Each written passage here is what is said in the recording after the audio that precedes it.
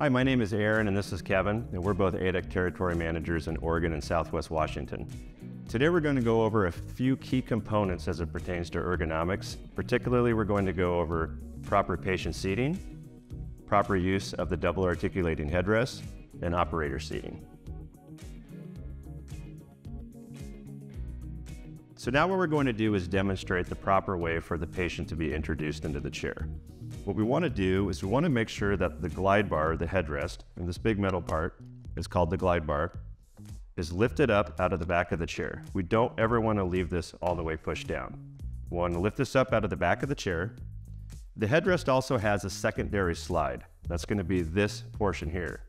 So it's also important to make sure that we don't lift just that part up out of the back of the chair. We want to get the glide bar out and we want to have this part of the headrest lifted up maybe just a little bit, just about a third of its range of motion.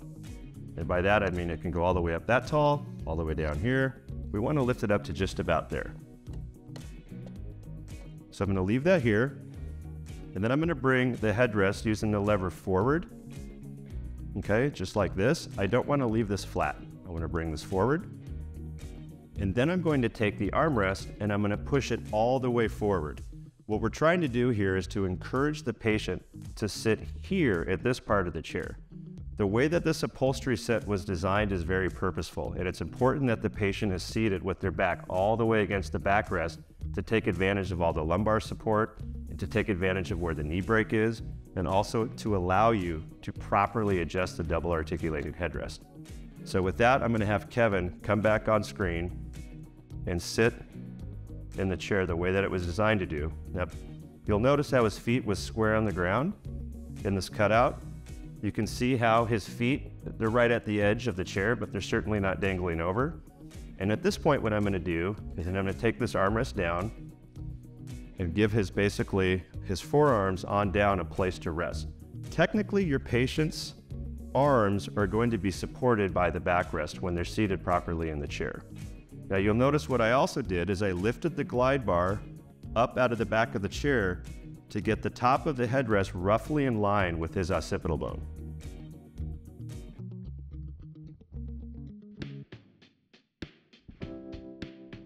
So now that we have the patient seated, the headrest is pushed forward as you can see here with this V. Go ahead and lift your head up a little bit. I just want to again show the incorrect way of adjusting the headrest. The incorrect way would be basically not adjusting it, right? It would be if it's completely flat like this. We want to make sure that we bring it forward to the patient. The reason why we want to do that is because we want to have a space for our hand to be cradled when we take them into a supine position so that when we engage the lever mechanism, we can support the weight of their head, right? If this is completely flat and we take them to a supine position and try to adjust it, it's pretty much impossible.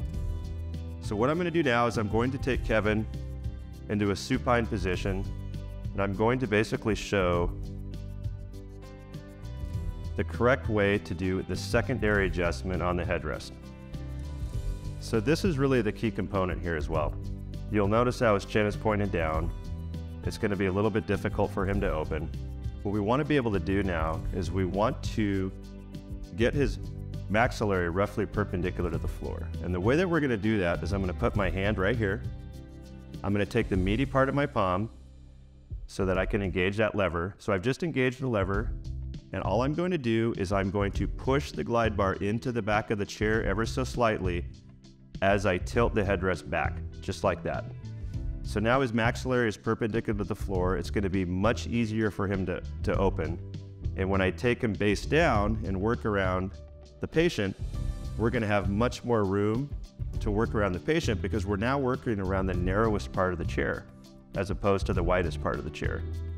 The widest part of the chair would mean that we never lifted the bayonet out of the back of the dental chair, forcing everybody to, the, on the dental team to work downstream.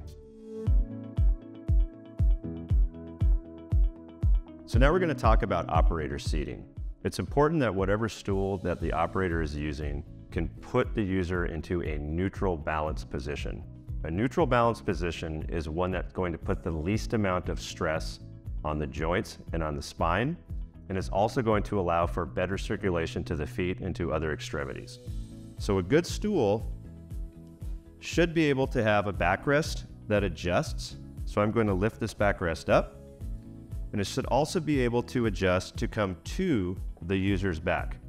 This is important because if you have a smaller user who maybe can only take up this much of the seating surface, if you have a backrest that can adjust far enough, you can see how far, far forward this backrest can come.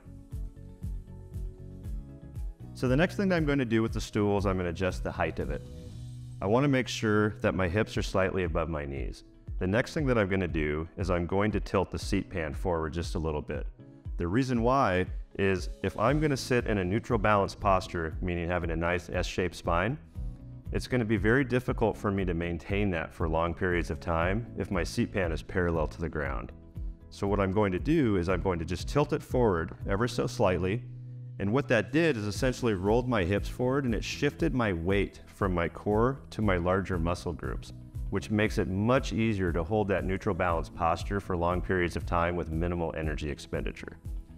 So the last thing that I'm going to do, and the whole time that I'm adjusting this as I'm exaggerating good posture, is I'm going to bring this the backrest to my back. So I'm going to lift this lever that you can't see, but I'm going to bring it forward to provide me back support.